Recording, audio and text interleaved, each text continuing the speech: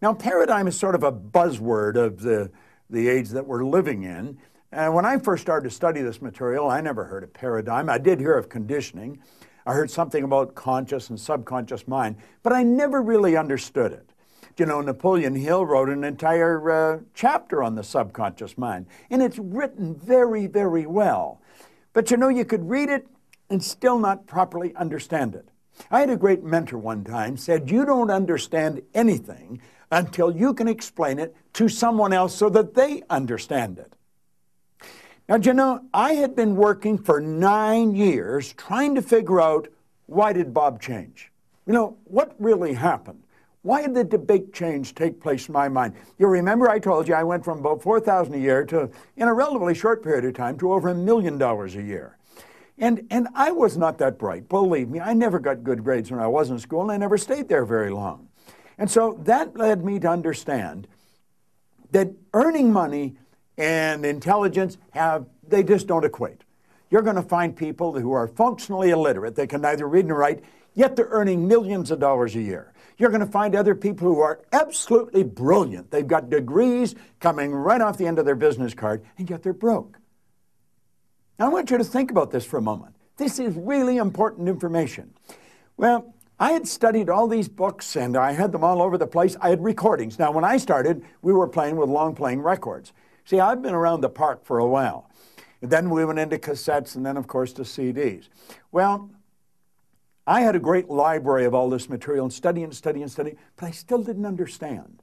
I didn't understand why I changed. I couldn't get the picture. And then I met a man in a seminar I heard about him first. I was living in Chicago. I was working at Nightingale Conant at the time. And somebody told me about a man that was running a seminar in Vancouver, British Columbia. Bang, I jumped on the plane and away I went. And I spent a couple of days there. This guy was so good. The second he opened his mouth, I knew he knew what he was talking about. And when his seminar was over, I went up and I said, You know, I'd really like to spend a couple of days with you. I remember him looking at his watch and he said, Well, he said, I'd probably like to spend a couple of days with you, Bob, but he said, I've got to catch a plane. And I said, Well, I've got to catch a plane too. And then he asked me, he said, Where are you going? I said, I'm going home. And he said, Where do you live? And I, I said, uh, I live in Chicago. We said, What are you doing here? I said, I come out to hear you speak. And he looked at me. He said, You flew all the way from Chicago? I said, You know, if I had walked, it would have been worth it you are very good, and the information you've got is even better. And he said, Well, look, and I'm not going to be in Chicago anytime in the near future, but he said, I am going to be in Toronto in a couple of weeks. And I said, Well, I'm from Toronto. My family's in Toronto. I'll jump in a plane, come over. It's only an hour away. And the two of us met in what was then the Skyline Hotel. We sat down, what was going to be a two or three hour meeting. We were there for three days. And he shared something with me that literally changed my whole concept. It took everything I had been studying for nine years and just it just funneled it all into place. It was like I'd been playing with a, a massive jigsaw puzzle and I couldn't get the pieces to fit. You know, frequently, if we're playing with the jigsaw puzzle, I imagine you've played with one from time to time. Can you imagine if you had a jigsaw puzzle, all the pieces on the table, but there was no lid for the box, there was no picture, and you're trying to figure out how to get them to fit? You have a problem. Well, he said, that's the problem with us.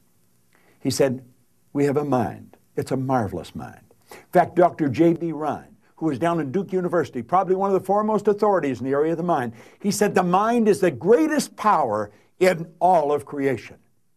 James Allen, in a little book, As Man Thinketh, he said, Mind is the master power that molds and makes, and man is mind. And evermore he takes the tool of thought and shaping what he wills brings forth a thousand joys or a thousand ills. He thinks in secret, and it comes to pass. His environment is but his looking glass. Now he said, Bob, you think simultaneously on three planes of understanding. I said, Yeah, I know that. He says, You don't know that. He said, If you know that, you wouldn't be asking the questions that you're asking. And then he smiled. See, what he did, he wanted to get my attention. He said, You're a spiritual being, you have an intellect, and you live in a physical body. You're a triune being. You live simultaneously in three planes of understanding. Now, what you've got to understand is how to get those parts of you all lined up. Do you know that's called integrity? When your thoughts, feelings, and actions are all in sync. You say, well, isn't everybody like that? No. A lot of people are thinking one thing, feel another, and then doing another. There's no, there's no coordination. It's not lined up inside. Why? Because we're not taught how to line it up. Do you know there's a psychiatrist in Florida? If you went to my website, go to bobproctor.com and wander around, you'll find it somewhere. His name's Dr. John Mike. He's a leading psychiatrist, child psychiatrist. He said, I taught him more about the mind in one year than he had learned in four years of medical school and five years of psychiatric training. His wife, Susan, is also a psychiatrist. They were blown away when I shared with them what I'm about to share with you. Now, the man told me, he said, listen, there was a doctor in San Antonio, Texas in 1934, Dr. Thurman Fleet. And he said he was very into the healing arts. He was into the holistic health. He wanted to heal the whole person. And he said, You know, we've been treating people physically, but he said, when you treat them physically, you're treating a symptom, you're not treating the cause of the problem. We do that with our balance sheets. We're trying to change our finances when we're not treating the cause of our finances. I looked at him, and I said, What do you mean? Well, he said, You lack money, you're trying to change your income. You don't change your income by changing your income. You change your income by changing something inside. Your income is an expression of what's going on inside. Just the same as there's disease in the body, it originates in the mind. Now, he said the problem is no one's ever seen the mind. The mind is not a thing, mind is an activity. Now, most people, when you talk about the mind, they think about the brain. But the brain is not the mind any more than the fingernail is.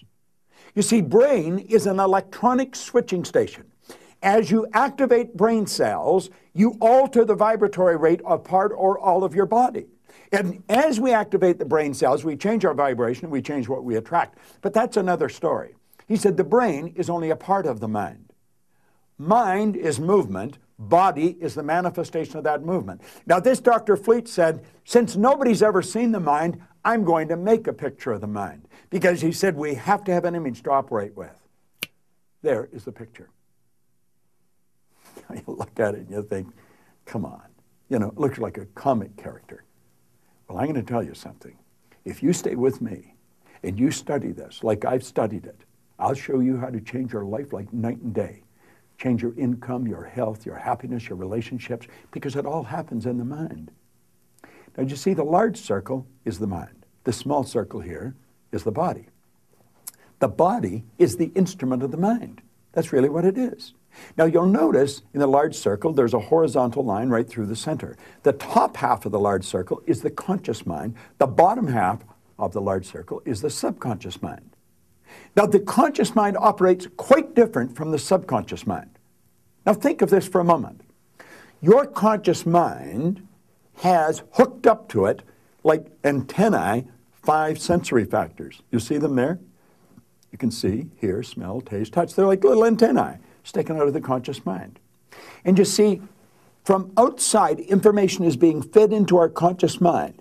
We go by what we hear, see, smell, taste, touch. That's how I'm communicating to your conscious mind right now. Well, we have all kinds of information coming in. And a lot of people call that thinking. That is not thinking, that's mental activity.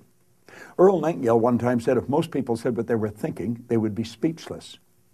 Your conscious mind has the ability to accept or reject any information that comes to it. Now look at there's a power flowing into your conscious mind. It flows to and through you. As it flows into your conscious mind, you have a choice. You can originate information or you can pick information up from outside. Now that's all happening in the conscious mind. It'll do nothing to change your life. It's the subconscious mind where it all happens. Now you see, your subconscious mind has no ability to reject. It'll accept anything you give to it. That's right. So you build pictures in your conscious mind, you impress them upon your subconscious mind, and those images then are expressed with and through the body. See, the body moves into action and produces results. So, what's the bottom line here? We have the ability to originate a picture, we can plant the picture in the subconscious mind, and then that idea will be expressed in action and produce the results. Now, you've read that in many books. You consciously impress the idea upon the subconscious mind. The subconscious mind is also referred to as the emotional mind. You'll see it's the emotional mind. You've got to get an idea and get emotionally involved in it. But you know, there's all kinds of people that build ideas, they get emotionally involved, but it doesn't happen. Why? It's because your subconscious mind has been programmed. That's right. It's been programmed at birth. In fact, it's programmed prior to birth. Now, this drawing can be worth its weight in gold to you. I visualize myself, I see the stick person. I see the top half of my head as my conscious mind. I see the bottom half as my subconscious, and everything from the neck down is the body. And I have learned that my behavior, whatever I'm doing, is nothing but an expression of what's going on inside. Now, here's the paradox I can be thinking something very positive, I can see something good happen, but I'm getting bad results. I see myself earning more money, but I'm going deeper in debt.